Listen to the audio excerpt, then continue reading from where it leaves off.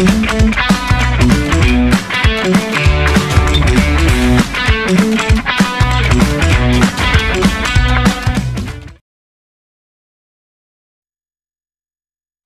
the next lecture is on failure analysis or fault analysis. So the failure analysis is a process by which an information or data about the failure occurring in an equipment or a system and are collected and analyzed to determine the cause of a failure and how to prevent it from recurring. So it is a process of collection of data and analyzing the data or the cause of the failure and last how to prevent it from recurring. Okay. So it includes defining the failure properly, finding your defective units and finding alternate means to rectify the failure.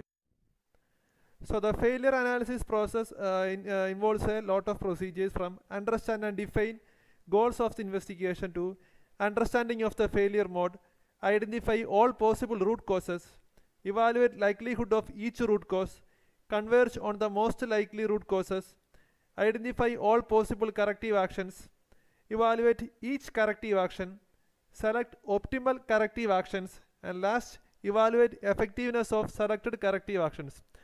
So, it is uh, mainly collection of data and understanding, then analyzing and taking sufficient methods to reduce the failure. Okay. So, the failure analysis process may be a sudden, uh, the failure may be a sudden failure or a gradual failure, and both of them can or cannot follow the development of failure. Okay. So the ideal situation is that in an industry, most of the failures should fall in D category, where the failure is a gradual failure and it, the failure can follow the development of failure. Okay.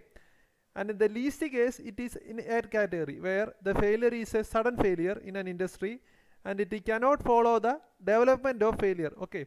So in most cases, the failure may be a gradual failure and it can follow the development of failure and in the least cases it is a sudden failure and it cannot follow the development of so the failure analysis tools are mainly five types first one is fault tree analysis then event tree analysis then root cause analysis then failure mode effect analysis and last failure mode effect criticality analysis. And the first two one fault tree analysis and event tree analysis are under logical fault location methods. And the last three one root cause analysis failure mode effect analysis and failure mode effect criticality analysis are under sequential fault location methods. So the methods are logical fault or sequential fault. And the five tools are under these two methods. Okay